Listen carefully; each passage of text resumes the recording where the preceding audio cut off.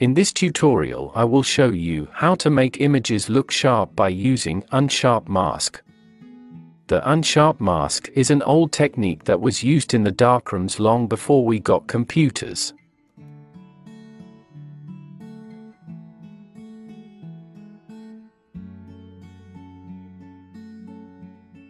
The Unsharp Mask makes the image appear sharper. The unsharp mask will increase the perceived sharpness of an image by increasing the contrast of pixels next to each other. It does so by making darker pixels a bit darker and brighter pixels a bit brighter.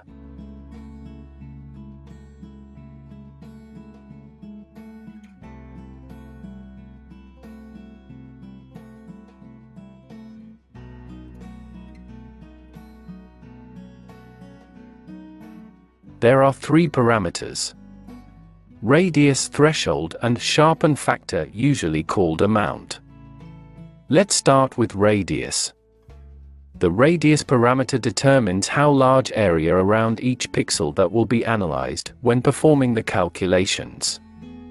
An already sharp image should have a lower radius. A softer image requires a higher radius.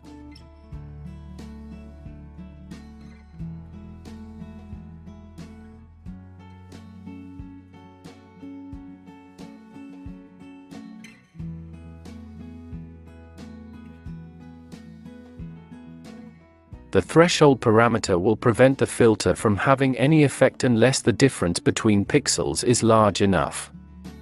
Put another way, you can exclude low contrast edges from the sharpening by increasing the threshold.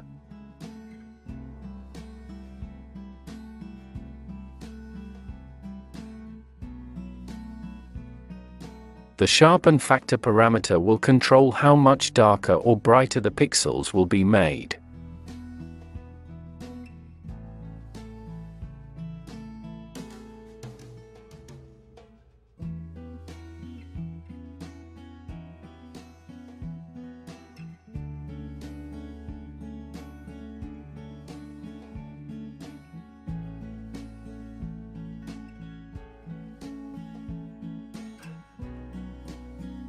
The Amount control in Picture Window Pro lets you control how much of the unsharp mask transformation is applied to the input image. You can apply a percentage of the transformation to the entire image, or you can specify an amount control to restrict the effects of the transformation to only part of the input image.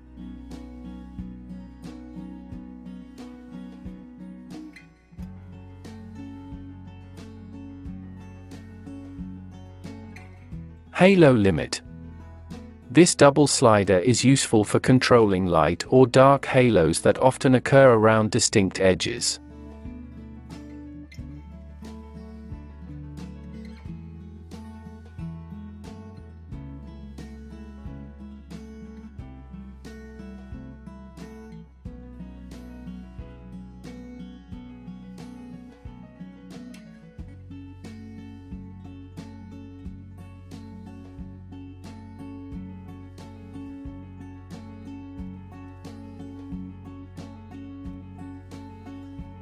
Each time you want to see the sharpening result on the input image, you have to press the red Preview button. Difference button is located next to Preview button. Clicking the Difference button causes the preview to display the difference between the original image and the preview image. Differences are exaggerated by a factor of 2 to make them more apparent.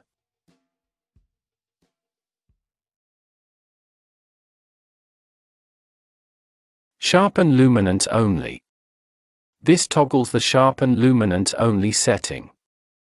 If the menu item is checked, just the brightness information, luminance, is sharpened, while color information, chrominance, in the input image is preserved.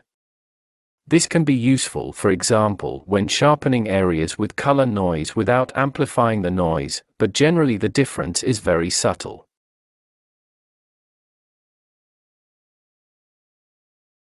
If you like this tutorial then subscribe to new tutorials.